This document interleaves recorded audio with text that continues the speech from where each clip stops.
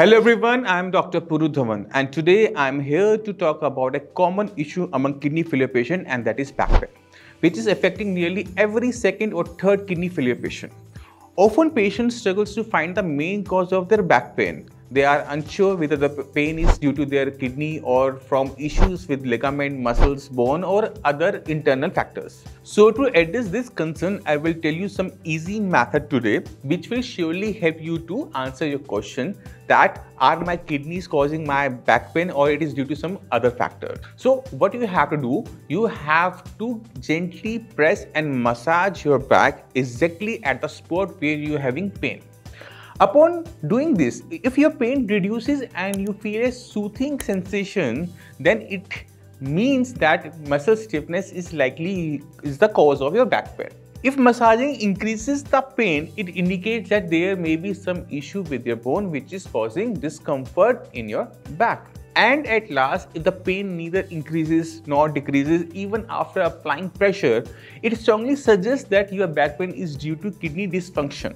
Let me make it more easier for you to understand actually what is happening if your kidney have failed or any other discomfort is occurring like kidney stones, then painful inflammation and swelling develops around them. The resulting painful sensation gets radiated to the surrounding muscles and tissue causing throbbing pain in the back. Now that you are aware of the possible cause of your back pain, let's dive into the each of these causes and the treatment approach for them. First reason I told you is the muscle stiffness or the muscle fatigue. Your muscles need vitamin D to stay strong and healthy. They play a very important role in each and every movement of your body. But when these muscles become deficient of the essential micronutrition, they become weak, causing pain and discomfort in the back, particularly in the load-bearing areas, the area where your upper body part exert maximum pressures. Either you are standing, walking or sitting. Next, talking about the pain due to the bones. When the bones become deficient of vitamin D and calcium and the phosphorus increases, this results in soft, weak bones causing pain in the back. To help you out, you should note here one important thing. Generally, pain due to the weak bone is located at the center of the lower back, somewhere in the middle of it. Next, talking about the back pain due to kidneys. While the muscle stiffness and weak bones cause pain at the fixed location, the kidney back pain can occur at any place in your lower back. It is not fixed.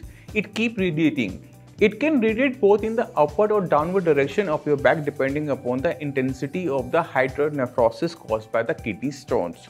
So by understanding these simple steps, you can easily self-diagnose the cause of your back pain. CT scan and ultrasound are the some of the tests which will help you to understand this issue. So no need to worry if you're having back pain, you just need to have good approach for it proper treatment. Back pain due to the muscle issue can be cured by working upon the muscles. Back pain due to the weak bones can be treated by strengthening the skeletal system through certain medication like calcium supplement, phosphorus binder, etc. and etc. And the most important back pain caused due to the kidney can be treated through certain renal medication and other treatment options also. So now I hope you have understood clearly about the differentiating the general back pain from the kidney pain. If you still have any queries, you can share in the comment section below and also you may contact us for the consultation regarding your kidney health. I will see you all in the next video with more helpful content for your kidneys. Till then, take care, bye-bye and namaste.